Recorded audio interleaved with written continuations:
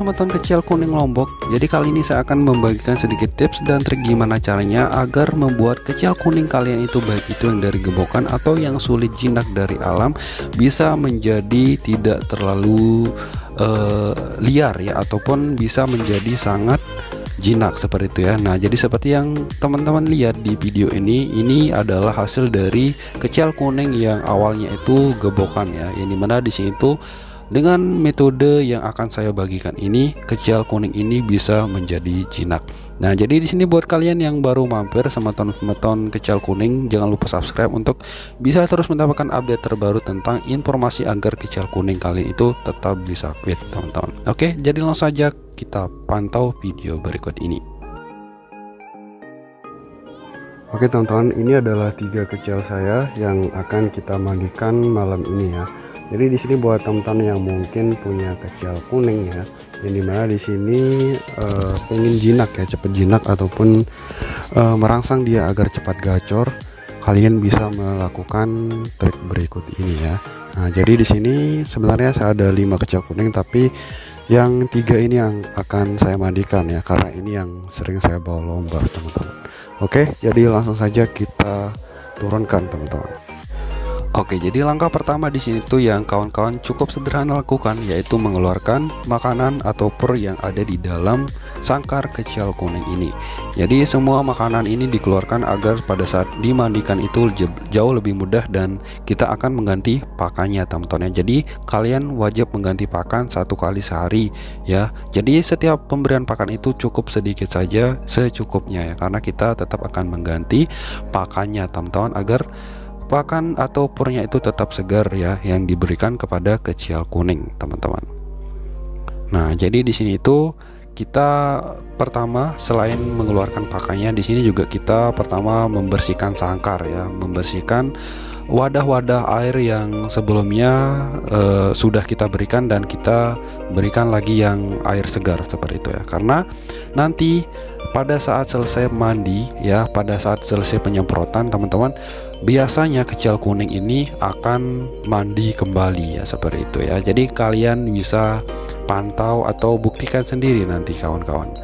Jadi setelan setiap kecil kuning itu berbeda-beda teman-teman ya. Tapi ini adalah sedikit uh, tips ataupun trik yang lumrah ya, ya atau yang biasa digunakan ya untuk cara menjinakkan kecil kuning dan membuat kecil kuning ini menjadi tetap segar teman-teman Nah, jadi di sini tuh kita benar-benar bersihkan ya, baik itu dari e, ceplukan ya tempat air minumnya ataupun e, kandangnya ya. Jadi kecil kuning itu paling tidak suka dengan yang namanya kotor ya. Jadi pastikan e, kandangnya itu tetap bersih kawan-kawan ya dan airnya itu tetap segar ya dan selalu diganti setiap harinya kawan-kawan.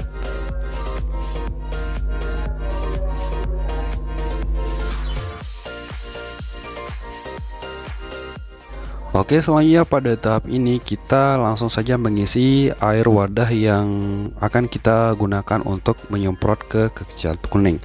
Jadi pastikan teman-teman itu bisa menggunakan air sumur ya Ataupun air yang memang bukan dari air pump ya Karena itu lebih bagus ya. Karena tidak ada kandungan kapuritnya ya pada air sumur. Nah, Jadi ini lebih baik gas Nah jadi tadi kan saya menggunakan air pump ya yang di mana di sini saya langsung menggantinya dengan air sumur ya agar kecil kuning ini lebih segar seperti itu teman-teman. Dan agar kecil kuning ini kalau e, biasanya kalau gebokan ataupun yang e, apa namanya sudah lama dipelihara e, rambut kecil kuning itu sulit basah. Jadi teman-teman kalian bisa menambahkan setetes dua tetes sampo pada air penyemprotnya ya agar Bulu-bulu halus kecil kuning ini bisa basah total seperti itu kawan-kawan. Dan semisalnya kalian setelah menggunakan uh, air sampo tersebut Nah, jadi kalian bisa bilas kembali dengan air bersih seperti itu ya, agar tidak ada sisa sampo, teman-teman ya di kecil kuning ya. Dan kalian mengganti airnya kembali agar tidak terkontaminasi sama air sampo seperti itu, kawan-kawan. Nah, jadi kita di sini melakukan penyemprotan ya setidaknya paling eh, 5 sampai 10 menitan ya untuk tiga kecil ini teman-teman. Jadi karena di sini nanti walaupun kita sudah semprot, nanti kecil kuningnya ini akan mandi sendiri teman-teman ya. Setelah dilakukan treatment seperti ini kawan-kawan. Jadi ini adalah proses penjinakan kecil kuning yang memang berasal dari gebokan ataupun mendapatkan dari alam yang sulit sekali jinak kawan-kawan.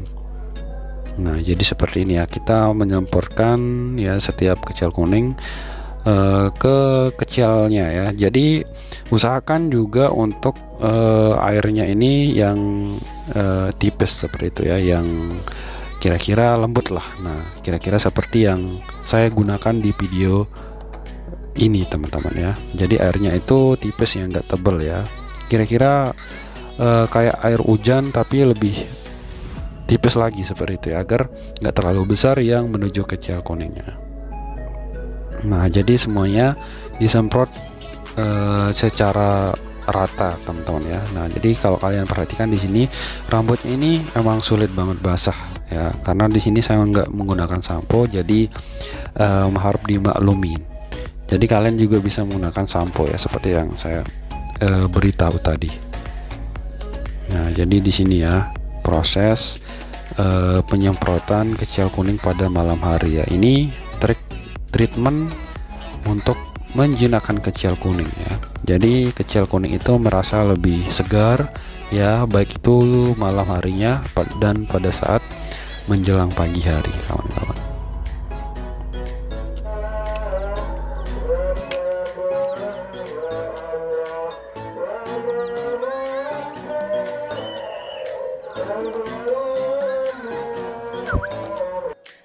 Oke, pada tahap selanjutnya kawan-kawan ya. Jadi setelah kalian melakukan pemandian kepada setiap kecil kuning, pastikan kalian lo seperti ini teman-teman ya. Nah, jadi ini adalah proses penjinakan ya, tapi ini udah benar-benar jinak ya. Jadi sebenarnya untuk yang bisa kalian lakukan jika tidak bisa seperti ini adalah langkah awalnya itu menggunakan lidi teman-teman ya. Jadi dari lidi apa namanya? Pohon kelapa seperti itu ya. jadi itu kalian masukkan dan menyentuh kepalanya secara pelan-pelan ya nanti secara perlahan itu akan uh, terbiasa dan sampai teman-teman itu menggunakan tangan untuk uh, mengelus kecil kuning seperti itu Oke kita masuk ke tahap selanjutnya yaitu tahap penggantian pakan ya. Jadi saya selalu mengganti pakan setiap harinya.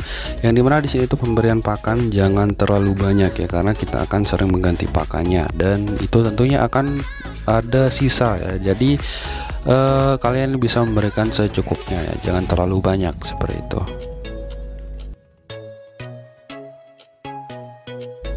Nah jadi ini adalah proses kita memberikan pakannya kembali ya. Kalau bisa teman-teman itu bisa menambahkan uh, kroto ya. Kroto uh, 5 sampai 10 biji ya. Itu kroto putih semua. Jangan yang merah kawan-kawan ya.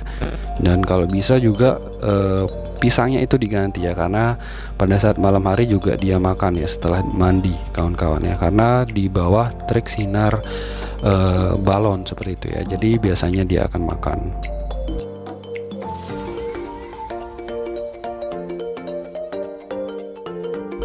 Nah, jadi ini adalah proses setelah kecil kuning ini selesai mandi malam ya. Nah, jadi seperti yang saya sering bilang tadi ya, dia bakalan mandi sendiri biasanya setelah dimandikan pada saat malam hari.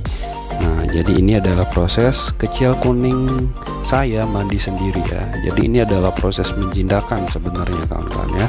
Jadi dengan cara seperti ini kecil kuning kawan-kawan itu akan jauh lebih cepat jinak ya karena metode malam ini sangat ampuh sekali apalagi untuk kecil kuning kawan-kawan itu yang suka sekali rewe ya dan apa namanya sulit buka seperti itu ya. Jadi dengan cara metode mandi malam seperti ini kecil kuning kalian itu jauh lebih cepat untuk gacor ya nah jadi ini beberapa peliharaan saya yang lainnya kawan-kawan ya. Dan uh, itu sedikit tips dan trik ya untuk cara merawat kecil kuning ya dan cara bisa bermanfaat buat kawan-kawan semua ya. Oke kalau ada pertanyaan kalian tinggal komentar aja. Dan assalamualaikum warahmatullahi wabarakatuh